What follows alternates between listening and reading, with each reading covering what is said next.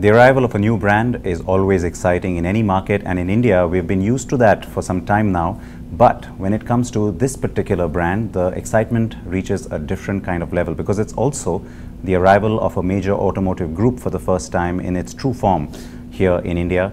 I am, of course, talking about PSA, and joining me now to talk about that and everything that follows from here on is uh, Mr. Carlos Tavares, who is the CEO of Group PSA. Thank you. Hello, good afternoon. And, and it's great to see you back here in India after My a long pleasure. time. Um, and of course, getting to spend time with you. Appreciate it. Uh, what I said, you know, it sounds, of course, nice to say it like that, but it is true in many ways. I mean, it's, it's that one big thing that we've been waiting for because uh, it is that one big automotive group that, that was sort of missing. Um, you have announced very early on the, the clear intention of what you want to do here. Of late, we've got more, clear, more clarity on that with Citroën now being announced as the brand. But, uh, but the obvious question, I mean, the, the importance of India in the long term for PSA's future growth strategy. Well, India is, uh, is paramount for our um, overseas development. First of all, because it's a highly demanding market. And uh, of course, we have opportunities with many of our brands, but uh, we also know that the Indian consumer is extremely demanding, which is uh, something that is challenging us, and we like that. We like to be challenged, and we like to progress and push the limits to make our customers happy. Uh, this is the reason we have selected uh, Citroën as a highly human-centric brand, very much focused on being a trendy, cool, comfortable, and, uh, and smart brand. And we believe that uh, this is the best brand, the warmest brand we have to uh, delight our Indian consumers. So we are very pleased, and we are here for the long term. We'll take our time. This is a long-term commitment. We have made frugal investments to make sure that we keep the business plan in the black so that as long as we are in the black, we can continue to progress, improve our operations, improve the way we service our customers, and improve the way we plan for our cars. Which actually leads me straight to the next point, which is about the necessity of the joint ventures with uh, Hindustan Motors. Um, one understands, of course, the logic of why you did it, but uh, could you have done it without that, you think, or maybe not as quickly? Well, possibly yes, but um, that was not our choice. Uh, we believe that uh, in, uh, in such a, a highly specific market, it's better to have a partner that helps us to avoid the basic mistakes. Of course, big corporations like ours can make basic mistakes, and we certainly want to avoid that for the best benefit of our Indian consumers, and uh, also to make sure that we start from a, a manufacturing footprint that already exists, which means that we can protect uh, our business plan to keep it in the black and hence give ourselves more time to progress in the marketplace and do the right things. So we are very pleased. In fact, we are blessed with our partnership with uh, CK Birla. We think it's, it's uh, absolutely the right partner for us. We already have two plants in India, one for powertrain and another one for vehicles. By the way, we are already exporting from our powertrain plant in Hosur to the rest of the world, basically here uh, gearboxes for Europe and uh, we are very pleased with what we are rightly now right now doing. So, no, I think it's it's it's a must for us if we want to avoid ba basic mistakes. Um, going back several years now, I mean, even at the time when in, in your previous role, when I guess we last had you on, on camera on our channel, um, at the time, you know, it's easy to talk about what was happening in the market then because it was the, the conversation was really about potential a lot has happened since then in terms of the market proving to be more complex, more complicated, and perhaps uh, you know there's been a few other things that have kind of contributed to those targets that were being talked about then not really sort of being realized today. Um, is it better in a way to have that perspective, to have that experience that you've seen for some of the other brands and, and the tough journey, uh, to be able to step in at this time and say, all right, we kind of know what not to do? Well, see, I don't mean to be flippant, but no, I you see why I'm asking it's, that. it's a great Yeah. point. It's a great point. There is not a, a good timing and a bad timing to come into a market. The reality is that when you plan for uh, entering a new market, like the one we have here in India with the Citroën brand, uh, you cannot plan only for one product. Uh, and in this specific case for India, we are planning for four products in four years in a row which means this is a huge amount of work to be prepared, a huge amount of engineering, a huge amount of sourcing, a huge amount of planning, a huge amount of partnerships with, uh, with our dealers, with our uh, business partners. And this amount of work is not very much visible because we have been working in this program for the last three years. So it's three years of underground work to come up with today's uh, brand introduction in, in, India. So this is this is what I think is what needs to be done. Of course, in the meanwhile, the markets are very volatile, and you cannot predict volatility of the markets by nature, of course. Uh, as we cannot predict the volatility of the markets, then we just do whatever we need to do and do the right things right, and we see what happens next. So uh, yes, the markets will be volatile. Yes, the markets can go up, can go down. But anyway, as we are here for the long term, when you look at it from a several decades perspective, the point of introduction doesn't matter as long as you keep a very low break-even point of the operations. Mm. If you keep a very low break-even point of your operations in a given market, then you can face ups and downs, you can face headwinds, you can face good news and bad news, because you always keep your operations on, in the black, so you can always continue to move forward, even if, of course, from time to time you can be frustrated by some uh, headwinds. All right. Um, sorry about that. Uh, the, uh, I mean, you partially answered what I was going to ask you about between the time you sort of green lighted internally the India plan and today, of course, you, are right. The market's been extremely volatile, very unpredictable, and almost uh, scary in, in some senses. But keep the eye on the long term price. I get that. Having said that, uh, when you talk about a low break even point, um, how do you define that? Is, does it come from conservative volume or share targets? Does it come from uh, having a very healthy export plan from day one? Now, I know you'll say it's both, but, but what, what's, what's at the heart of it, let's say? Well, it's, it's a, a lot of those things, but let me give you some examples. Uh, if we consider that we have in uh, India a competitive supplier base, uh, it is quite clear that if you start sourcing parts in India, exporting for the rest of the world, the cost reductions that you are going to create are already paying for the local investments yeah. eventually that we'll have to do. If I take the example of our uh, powertrain plant mm. in Hosur, basically this investment is already paid by the cost reductions that we are able to generate compared to other sourcings in the world, which then means that by itself, this specific investment is self-sustained. So I'll put it there. And at the same time, I'm going to use it to make a deep localization for the products I want to manufacture in India for the Indian market. In the same way, if I start by saying yes to my people telling me we want a big uh, greenfield plant, I said no, I want a small brownfield, brownfield plant. It was going to be much less investment at the beginning, but then I will keep my business plan in the black, and if it is successful, of course, I'm going to saturate the plant. I will make another one. So what that means is scalability and keeping a low break-even point with frugal investments at the beginning gives you a much longer term perspective because then you go step by step, but you always keep your operations in the black. So those are two examples, and of course, if I don't spend here 200 expatriates, it will also reduce my cost. So I want to use my local Indian talent to make things uh, even more efficient. It's a, a, long list of things you can do to keep things uh, aligned. Uh, it's not easy, of course, and we don't always succeed. From time to time we fail, from time to time we succeed. Mm. But at least I think we have a very Indian vision of frugality and scalability that is the best way to plan for the long term. Is that kind of new for PSA? I mean, it's, it's uncharted territory because I know you are going into several new markets this year, starting this year. Um, but that kind of vision, which you're calling an Indian vision, is that is that new territory you think for PSA? Uh, I think it's new for the industry. Mm. Let me give you another example. If I others I claim to have tried that, that's why I ask. Well, perhaps they succeeded, by the way, and, uh, and that, that's good.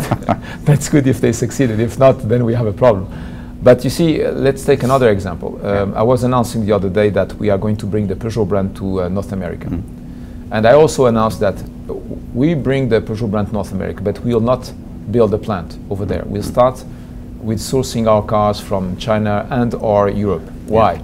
For the same reason. If I go and start by putting huge amount of investment on the table, then I will become extremely dependent on the volume growth, which means I will have to push the metal in the market which possibly could happen with a lot of, of incentives, which then means a very poor profitability, and then everything goes south instead of starting to be a, a, a virtuous uh, circle. So this is where we are. Uh, anyway, it's not rocket science. It's all about uh, having good sense, good judgment about what is really the core of what you need, mm. what is a waste, and you should get rid of it. align all the stars in the center, use the local talents, use the local cost competitiveness of where you are doing your business, have the right partners to avoid basic mistakes, and listen to the, to the consumer. Try to delight the consumer so that the growth is always the result of a well done job and not a goal by itself. The conservatism that you then point at, which is obviously good from a you know business perspective, from a strategy perspective as well. Uh, three things that come to mind straight away. You've, you've talked about 100,000 cars in the in the first phase, as it were. Uh, you have talked about the fact that there will be a significant interest from some of your um, you know uh, concerns around the world who will probably want some of the cars that are built in India for their markets, uh, which means that that's already planned into that development of those models that they, you know they'll have appeal across markets. And then you've also spoken about uh, you know going about and targeting what I know people are calling a small 2% market share, but a significant number nevertheless.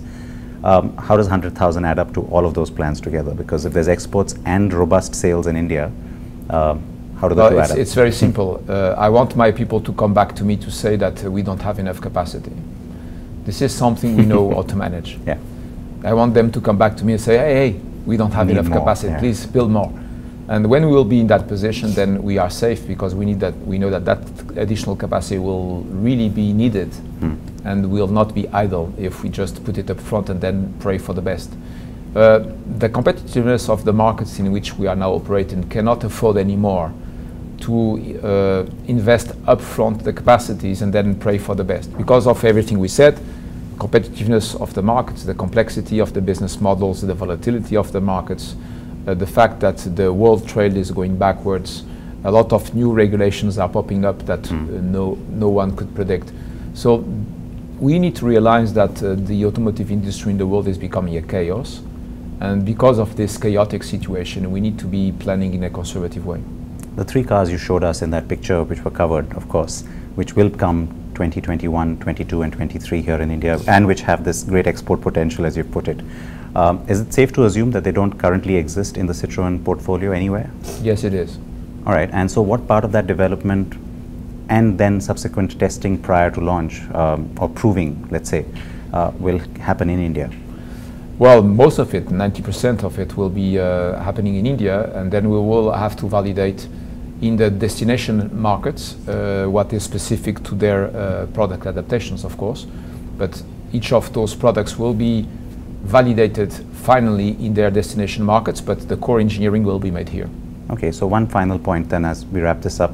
Um, both from the perspective of these three products as well as what's of course happening with all the markets that you're operating in and uh, I'm talking about of course this little bit of an unknown, what happens with electric, what happens with some of the semi-autonomous features that are coming in and regulations as you put it.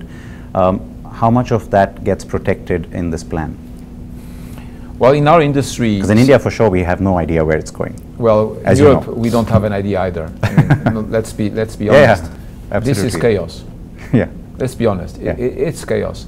You see, regulations are popping up. Uh, I'm not talking even about uh, automotive bans in some cities. Uh, one region of the world wants, wants to go this way, the other one goes this way. Uh, there is no alignment between the energy production and the automotive uh, mobility devices.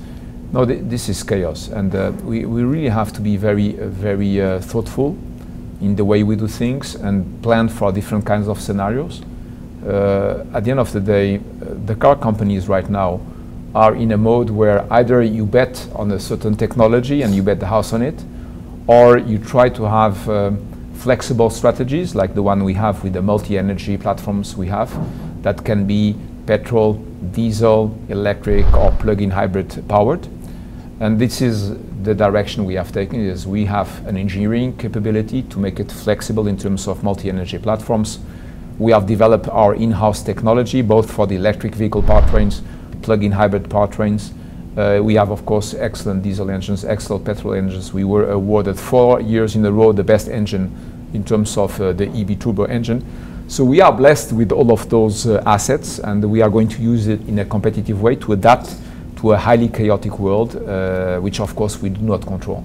So if you want to move quickly on electric, then you can still do that in India, you think? I'm not, I don't expect you to do it in the next one or two years, of course. It's absolutely possible. We have all the technology we need, of course. It's possible. It's something that we will consider if the market conditions are supportive of that. Can't wait to see all of it rolling out. Uh, you know why, of course. You, you, you know where I'm coming from on that. Thank you for your time. And My pleasure. pleasure to have the brand here and, of course, you as well. Thank you. Thank you for the chat. See you. Thank you.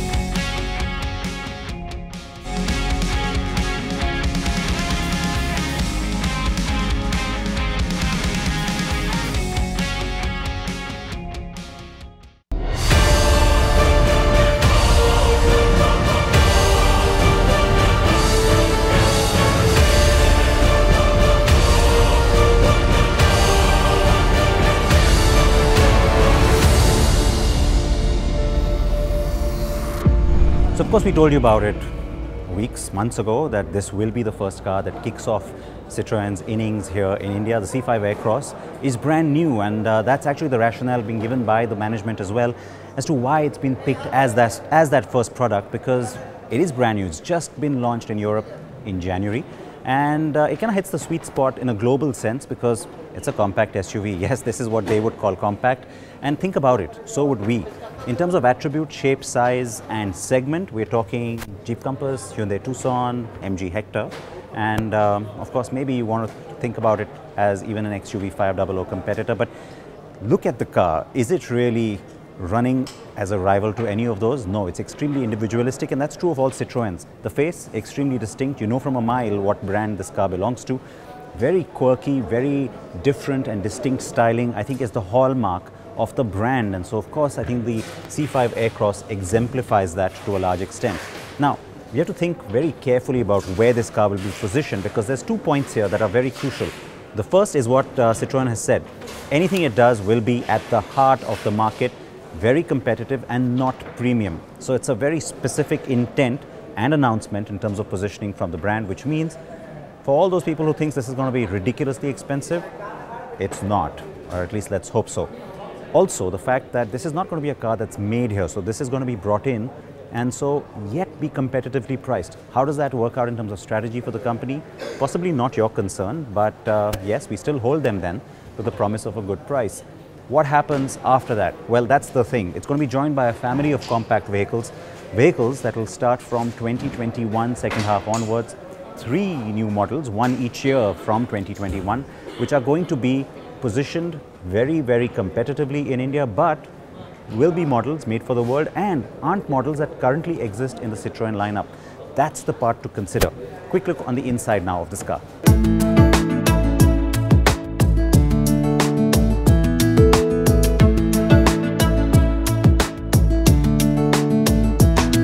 Now you might think that there's nothing very distinct about that styling, but think about it. Do you really see things like that on a daily basis? In terms of layout, in terms of, uh, all right, little door chime there.